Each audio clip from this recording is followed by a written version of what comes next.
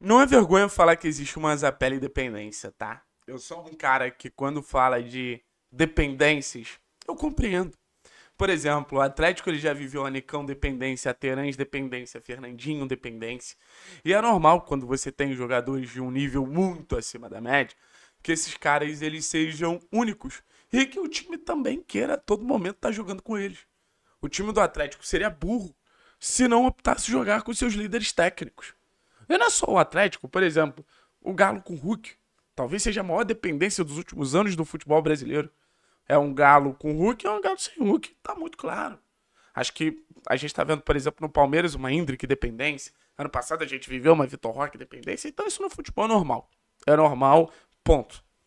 Mas eu acho que os clubes eles também têm que fugir desse cenário. Eu acho também que os clubes eles têm que optar ir para um caminho que eles, tenha alter... eles tenham alternativas. Por isso que a gente vem batendo na tecla que a construção de repertório no campeonato paranaense ela é muito importante. De você ter plano A, de você ter plano B, de você ter plano C, de você ter plano D.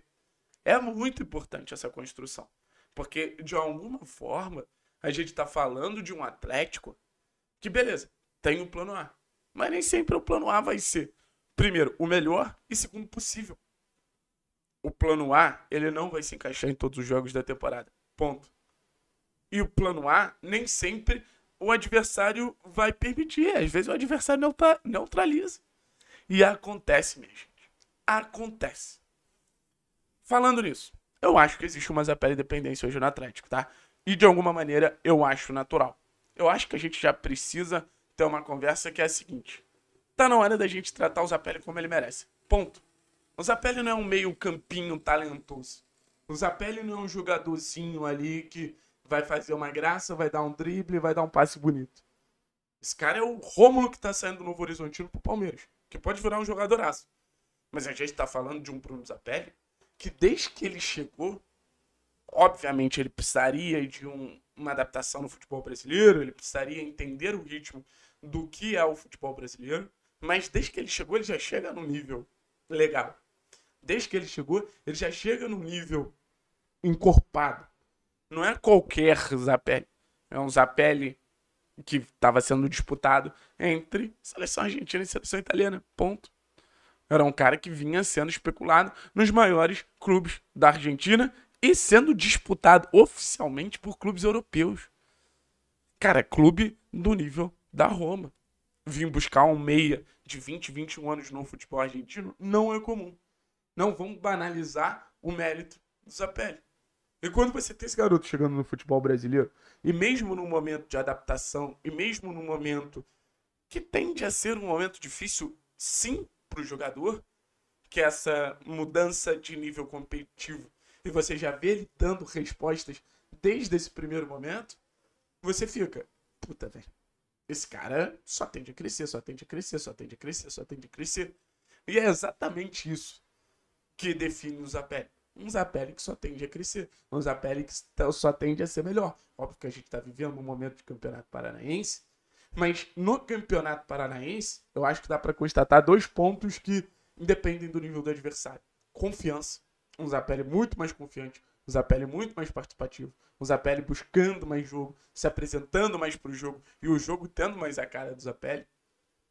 E o, os companheiros também procurando mais usar pele. Eu sempre falo para vocês, o maior reconhecimento que o jogador pode vir a ter é, que, é quando os companheiros olham para ele e reconhecem, cara, esse cara ele tá sendo diferente, esse cara ele tá sendo acima da média, esse cara a gente quer chamar ele para jogar, a gente quer chamar ele para dança.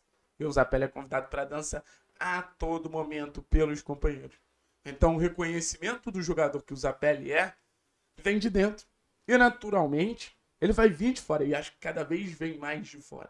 Cada vez mais o torcedor do Atlético ele olha para o Bruno Zapelli e ele entende que é um cara diferente. A grande questão é que na temporada passada a gente tinha Vitor Bueno e Bruno Zapelli.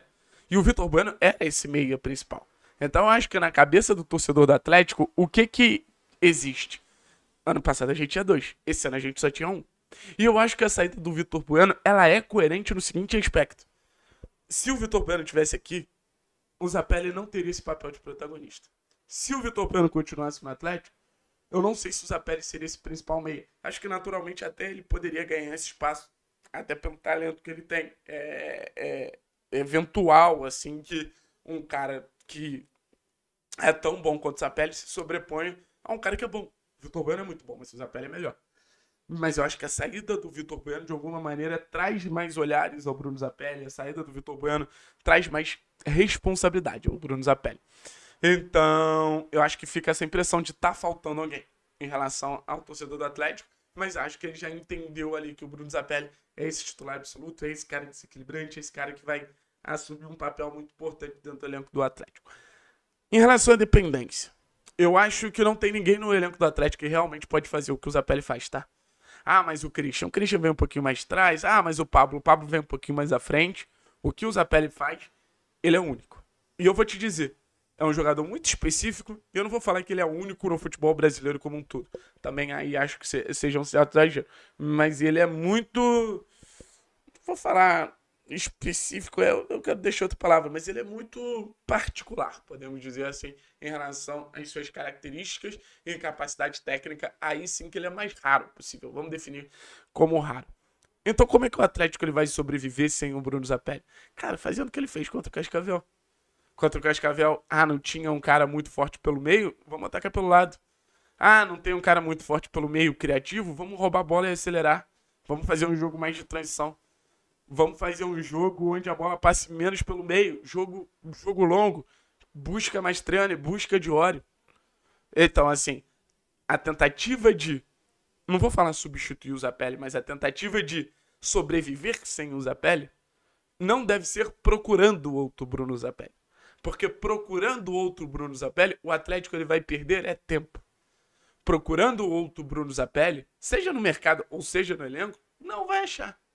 Porque é um jogador que, como a gente fala, é o famoso geracional. Como a gente falava do Vitor Roque. Então, o Atlético, ele precisa ter diferentes maneiras de atacar. E eu acho que ele tem jogadores que permitem isso para que a capacidade técnica do Zapelli seja importante quando ele está em campo, mas quando ele não está em campo, também não vire uma brecha, uma ferida aberta, algo que o Atlético não consiga sobreviver sem a capacidade técnica do Bruno Zapelli, porque é muito acima, tá? A capacidade técnica do Bruno Zapelli é muito acima. Então, ah, contra o Cascavel não deu certo porque não teve Zapelli, porque ele não quebrou linha, porque ele não driblou, porque não foi pra cima. Sim, o Zapelli fez falta. Eu vou te dizer, todo jogo que o Zapelli não jogar, ele continuará fazendo falta, minha gente. Só que uma coisa é a gente sentir falta, outra coisa é a gente sentir dependência. Saber jogar sem o Zapelli, mesmo sentindo falta dele, é uma obrigação do Atlético e é uma obrigação do próprio Juan Carlos Osório, que está buscando soluções. Se o Osório não estivesse buscando soluções, aí eu ficaria preocupado. Mas o Osório está buscando soluções. Eu tô com a camisa do Devin Booker. Tem um termo no, no basquete que ele já veio pro futebol de certa forma, que é o playmaker, né? Que é basicamente o gerador de jogo. E acho que o Atlético não tem outro playmaker com tanta qualidade que nem o Zapelli. Porque acho que outro cara que tinha muito esse perfil era o Marlos.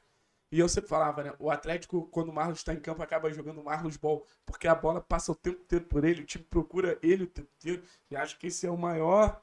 É, é o maior reconhecimento em relação aos jogadores, como eu já tinha falado, mas esse é o maior sinal da relevância dele em relação à equipe. E acho que hoje a gente pode dizer que a gente joga o Zapelo Ball. Zapele Ball. Zapele Ball. Acho que é um termo interessante. Valeu, pessoal. Tamo junto, é nóis. Forte abraço.